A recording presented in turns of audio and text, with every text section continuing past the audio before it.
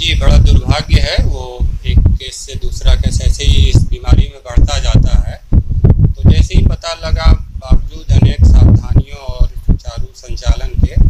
जो close contact में लोग रहे और उसको छिपा लेते हैं लोग, उसके कारण केस निश्चित बढ़ जाते हैं। और भी मेरा जो भी संयोग से सभी ठीक होने योग्य हैं और हो भी जाएँगे और तैयारियों में पूरे उस क्षेत्र को कंटेन करके उसकी sanitization fogging spraying DDT bleaching ये सब किया जा रहा है डोर टू डोर सर्च शुरू है सघन अभियान करना पड़ता है सर रघुनाथपुर प्रखंड का ये बुधवार गाँव एक ऐसा गाँव है जहाँ पूरे नौ मरीज़ पाए गए हैं और वो एक ही परिवार एक ही परिवार के हैं आज जो इसके लिए चार इस पॉजिटिव गाँव के लिए सबसे सुरक्षा की दृष्टि से क्या है वहाँ बिल्कुल उसको जो जियोग्राफिकल कंटेन कर दिया गया है कि आप लोगों का आवागमन बाधित करते हुए जो करते हैं फ़िज़िकल कंटेनमेंट में वो है और प्रतिदिन सुबह शाम जाके status checkup door to door कर रहे हैं। रात को वहाँ पे क्वारंटाइन के लिए बस भी गई थी 94 पेशेंट्स लाके जब वो विद्यालय में रखे गए थे नवोदय के छात्रावास में और अभी उन लोगों का टेस्ट हो रहा है लगभग पचास लोगों का सैंपल लिया जा चुका है और वो क्वारंटाइन में रहेंगे जब रिज़ल्ट आने के पश्चात सर जो परिवार में नौ पॉजिटिव हुए हैं सर एक ही परिवार के हैं क्या जी कितनी महिला पुरुष अ, महिला अभी जो आज के चार हो गए पूर्व के दो थे खुर्शीद हैं एक उनके भाई हैं। ये हो गया। सर ये जानकारी दी टोटल अभी सीमा में पूरा कोई भी मरीज़ और कितने ठीक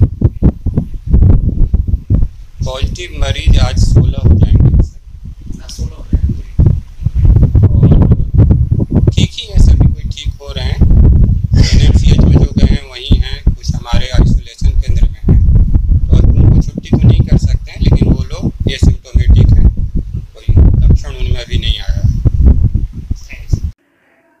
बिहार में सबसे ज़्यादा 16 कोरोना के मरीज़ सिवान में पाए गए हैं, जिसमें 6 मरीज़ पहले और 10 की संख्या दो दिन में बढ़ी है। ऐसे में सिवान में जिला प्रशासन बढ़ती संख्या को देखकर काफ़ी सजग हो गया है। कल देर रात रघुनाथपुर प्रखंड के पंजवार गाँव के पंचानवे लोगों को बस के माध्यम से सिवान के क्वारंटाइन सेंटर में भर्ती किया गया, जिसमें 50 लोगों के सैंपल को जाँच के लिए भेजा गया है। ऐसे में लगातार बढ़ रही कोरोना पॉजिटिव मरीजों की संख्या सिवान जिला प्रशासन के लिए परेशानी बनती जा रही है। अगर जल्द ही इस पर काबू नहीं पाया गया तो स्थिति भयावह हो जाएगी। देखिए सिवान से स्पेशल रिपोर्ट। सिवान में लगातार कोरोना पॉजिटिव मरीज़ संख्या बढ़ती जा रही है और सिवान में अभी बिहार में सबसे ज़्यादा 16 मरीज़ पॉजिटिव पाए गए हैं। इसकी ऑथेंटिक सूचना भी मिल चुकी है। सिवान के सिविल सर्जन ने बताया है कि 16 मरीज़ पाए गए हैं। ऐसे में लगातार मरीजों की संख्या बढ़ना सिवान के लिए बहुत ही घातक होता जा रहा है। हमारे साथ स्थानीय है, इनसे जानते हैं कि क्या, बताइए क्या व्यवस्था है यहाँ? की जो व्यवस्था है, प्रशासन चुस्त दुरुस्त है, मौके पर जो भी गाड़ियाँ क्रॉस कर रही है, उनको देखते हुए जाँच किया जा रहा है और सबकी अच्छी तरह से सघन जाँच की जा रही है और यहाँ के स्थानीय लोग भी प्रशासन को इस जाँच में मदद कर रहे हैं ताकि प्रशासन के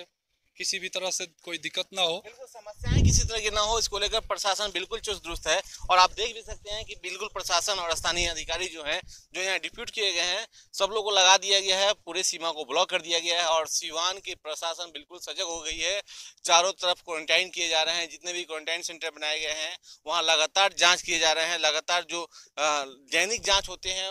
मरीजों के उसके लिए भी सिवान स्वास्थ्य विभाग लगातार सजग है और लगातार इसको कर रहा है। ऐसे में जिला प्रशासन के पास और व्यवस्था की ज़रूरत है ताकि ये जो महामारी बढ़ रही है, इसे रोका जा सके या इस पर विराम लगाया जा सके। ज़रूरत है एक ठोस और उचित पहल की, ज़रूरत है हमें सजग रहने की, हमें सावधान रहने की, हम जागरूक होने की, ताकि इस महामारी से हम बच सके और लोगों को भी बचा सके। सिवान से कैमरा पर्सन आशीष के साथ आकाश, न्यूज़ व्यूज़